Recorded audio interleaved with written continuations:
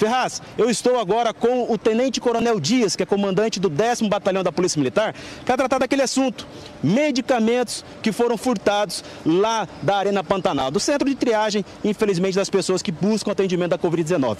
Ontem, pela manhã, um vigilante lá daquele local, coronel, foi preso por furtar esses medicamentos. Como que aconteceu a ocorrência lá? Boa tarde. Boa tarde, Arthur Ferraz, todos nos acompanham. É, foi uma ação em conjunto da Secretaria de Saúde, Secretaria de Esporte e Lazer e também do 10 Batalhão da Polícia Militar, onde nós fomos, identificamos e nos foi relatado o desaparecimento, extravio de alguns, o possível extravio de alguns objetos, né? E entre esses objetos estava ali medicamentos que são essenciais para as pessoas que mais precisam e isso nos deixou muito indignado.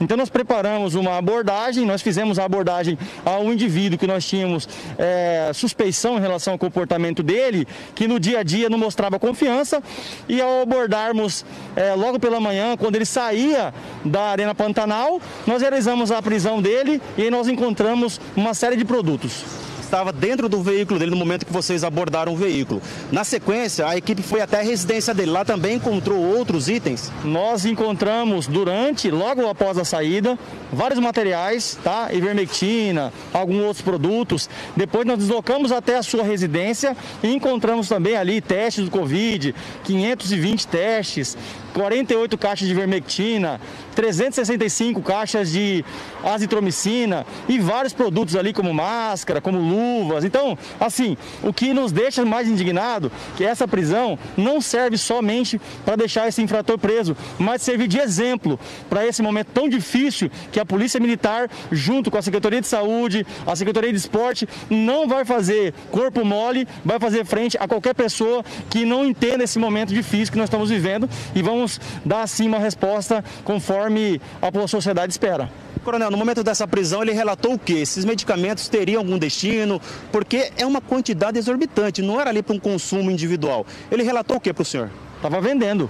Estava vendendo para as pessoas que estavam procurando. Então, depois que ele saía de serviço, ele saía oferecendo para as pessoas dos bairros, né, para pessoas é, que estavam ali também nesse momento difícil, não sabendo da origem do, do medicamento, acaba comprando. Então, assim, é culpa exclusivamente desse, dessa pessoa, tá, de má índole, registrou, já havia registrado um boletim de ocorrência é, para desviar a atenção da Polícia Militar, mas nós conseguimos agora prendê-lo. Ferraz, vou te apresentar Tenente Coronel Dias, comandante do 10 Batalhão da Polícia Militar em Mato Grosso, realiza um brilhante trabalho.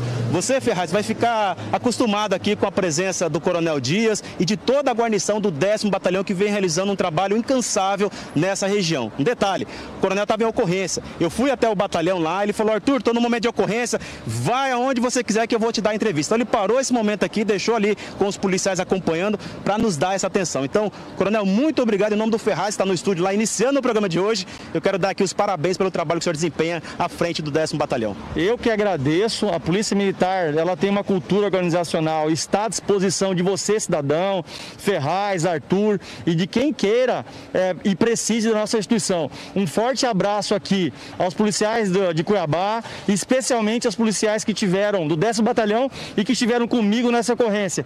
Nossa agência de inteligência e também subtenente eu de soldado Câmara Câmara. Um forte abraço e continue contando com a Polícia Militar. Se você precisar da gente, entre em contato no 190. É isso aí. Muito obrigado, Coronel. Um abraço, um abraço também ao Subeudes e ao soldado Câmara que acompanharam essa ocorrência no dia de ontem, viu, Ferraz? Infelizmente, o desvio desse material, desse equipamento aí que, infelizmente, né, tá nas mãos erradas. E graças ao trabalho dos homens do 10 Batalhão, voltou para a Arena Pantanal. É com você, Ferraz. Obrigado, meu querido Arthur Garcia. Um abraço ao Tenente Coronel Dias e a toda a gloriosa Polícia Militar do Estado de Mato Grosso.